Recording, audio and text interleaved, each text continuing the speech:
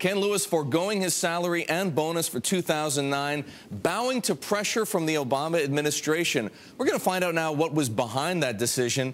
And for that, we go to Washington and Julianna Goldman. Julianna, let's start with this. Any reaction from the White House?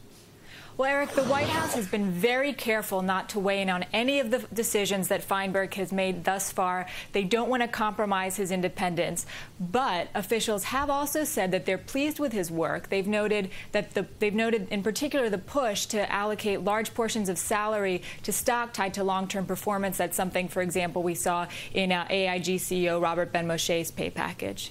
Julianna, let's also talk about the bank profits we've seen this week very healthy numbers from Goldman Sachs, JP Morgan.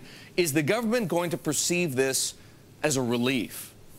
Well, Wall Street cheered the earnings this week, but some in the White House felt a little differently. Uh, one senior White House official who I spoke to pointed out that some of the same bailed out banks Goldman, JP Morgan, they were using the profits to wage a fierce lobbying battle against the White House push for regulatory reform. Now, that official called the efforts offensive and against the public well being. Of course, the White House realizes that there are limits to what they can do, especially with the companies like Goldman, JP Morgan that have repaid the TARP funds. But uh, take a look, we might see the president more outspoken on this in the coming days ahead. Now, even top economic advisor Larry Summers yesterday in a blog posting, he hinted at that pushback. He, in a, it was a posting that made the case for regulatory reform. He said, now is an appropriate moment for financial institutions, every one of which has benefited directly or indirectly from trillions of dollars of taxpayer support for the financial system, to consider it their duty by recognizing that the status quo